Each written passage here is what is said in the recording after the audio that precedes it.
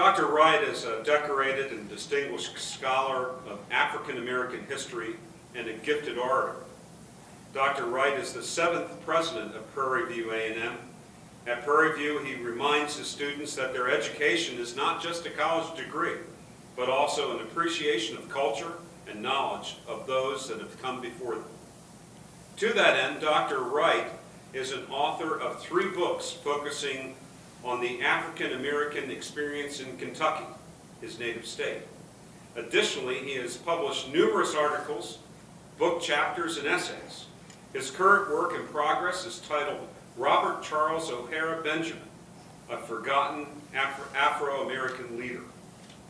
Prior to taking the presidency of Prairie View A&M, Dr. Wright was provost of the University of Texas at Arlington, where he also was a longtime professor.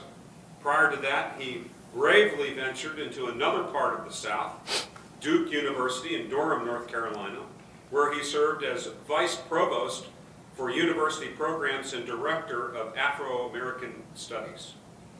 He held the William R. Kenan Jr. Chair on American History at Duke. Dr. Wright's awards, among many, many others, include the Andrew W. Mellon Faculty Fellowship at Harvard University and an honorary Doctorate of Letters from the University of Kentucky.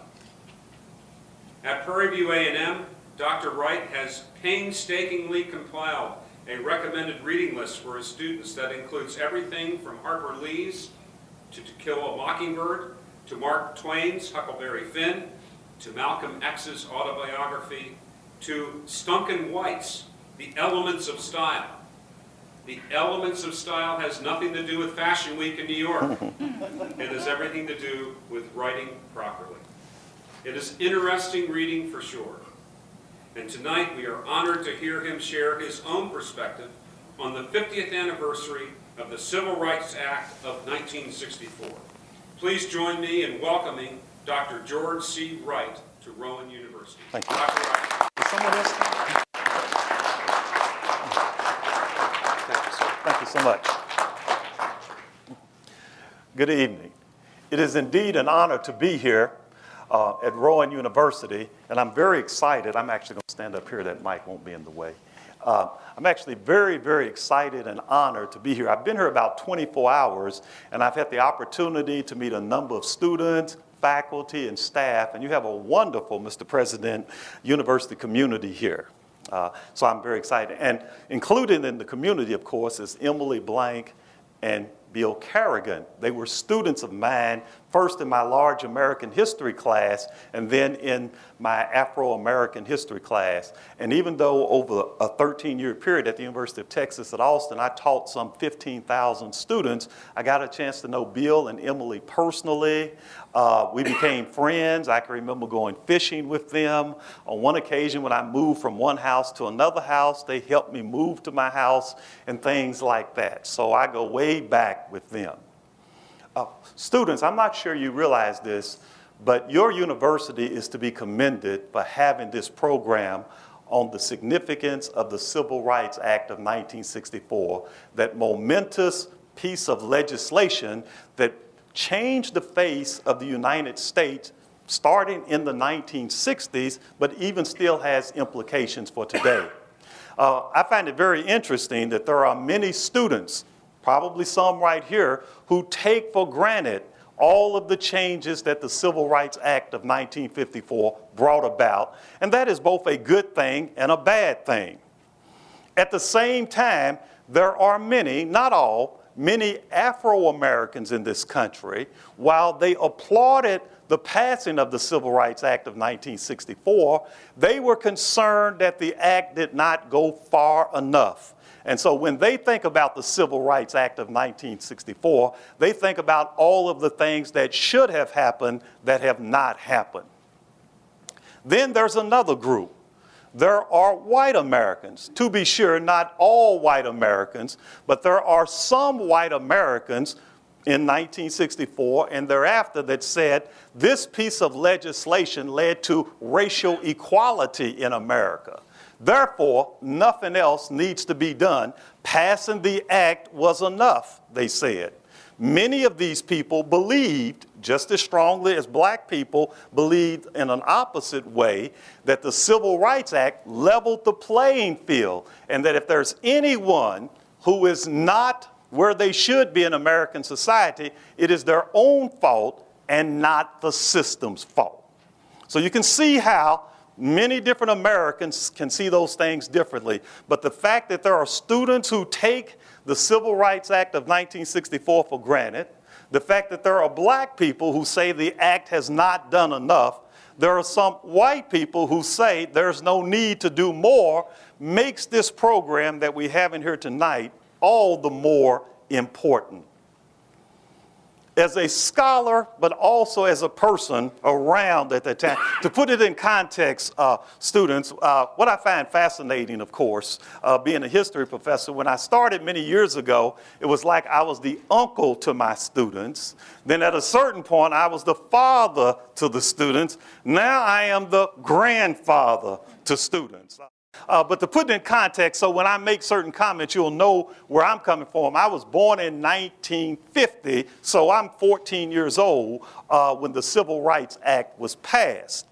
But what was it like living in the decade leading up to the 1964 Civil Rights Act? What was it like to live in America?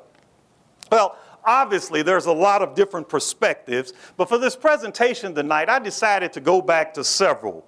One of them, I went back to a book I read a number of years ago, and that is Tom Brokaw's book, America's Greatest Generation. Some of you probably read that book. Tom Brokaw talks about the men and women who became adults during the Great Depression and definitely during World War II. People who sacrificed greatly. And he talks about the common values these people had and the common sacrifices they made. He says at some point, during a time in their lives when they should have been concerned about raising families, when they should have been concerned about a lot of things, many of these people were dying or barely surviving in Austria, Germany, Italy, North Africa, or the coral islands of the Pacific in that regard. Then he talks about how these people came back, those who were fortunate enough to survive. And in the late 40s and 1950s, they started having children. And at the same time, these people would go to college. And colleges like Rowan University opened their doors to them, and they would be educated in numbers larger than had ever been seen anywhere in the world. And he talks on and on about these people, and he labels them America's greatest generation. Another perceptive person is the other person is a University of Texas graduate, uh, broke, um, um, what's his name? Why am I slipping on his name all of a sudden? Uh, James Broyles, a University of Texas graduate. And he talks about graduating from college in the 1950s. And in the 1950s, he started his first job.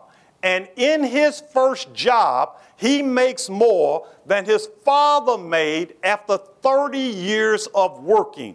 And he talks about all of the wonderful opportunities. Well, what I find so interesting about those two views of America that were occurring in the 1950s and 1960s, those were occurring during the same time that my father and my father in law, people who also had fought in World War II what those gentlemen should have said in talking about incredible opportunities in the 1950s and 1960s was that those opportunities were for whites only, or to really be specific, for white men only.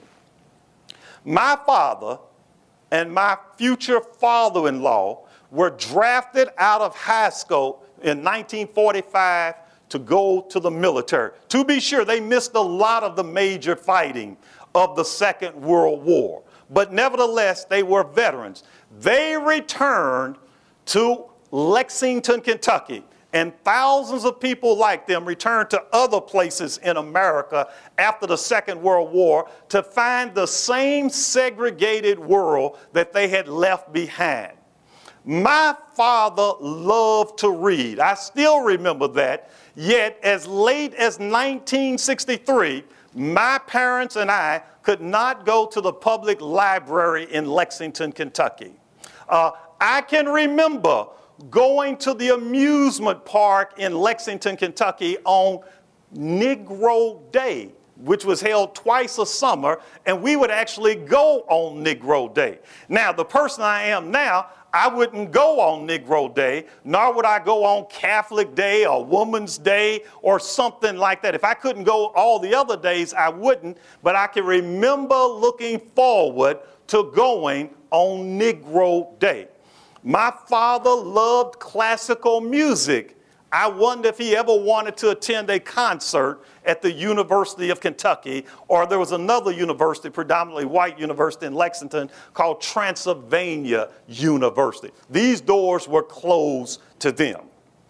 So if you think about it, this is reasons why the Civil Rights Act of 1964 was needed.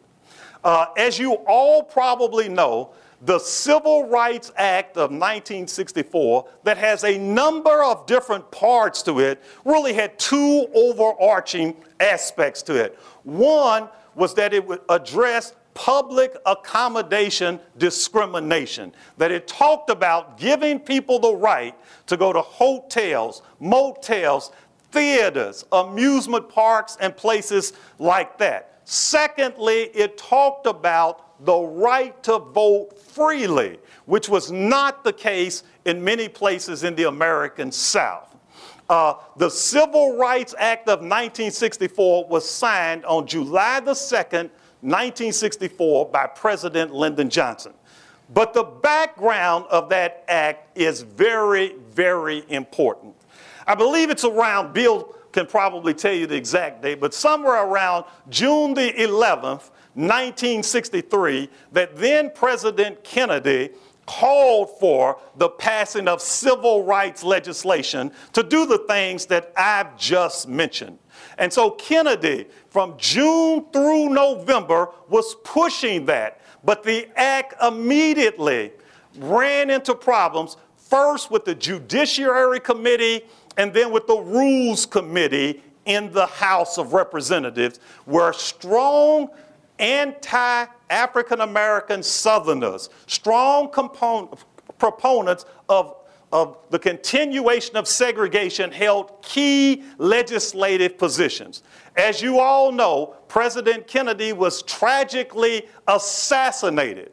Well, immediately after Kennedy's assassination, the new president, Lyndon Johnson, met with a joint House and Senate, and in his very first words, he talked about the best way we can honor our slain president is not with some fancy memorial, not with some fancy eulogy, but by passing the civil rights legislation that Kennedy had so long to have come into existence.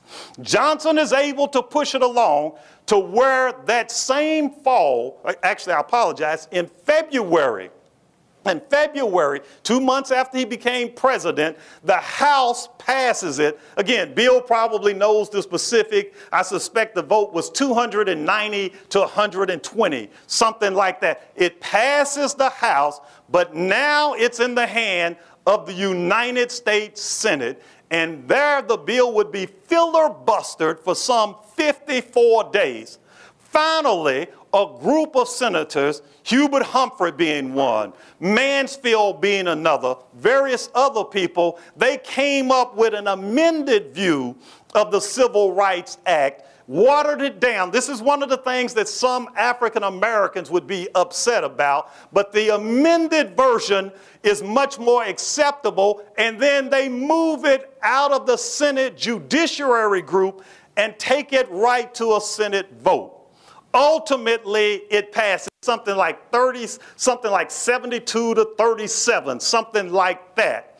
Uh, the joint House and Senate committee then looks at it in late June, and finally on July the 2nd, 1964, Lyndon Johnson signs the Civil Rights Act. Okay.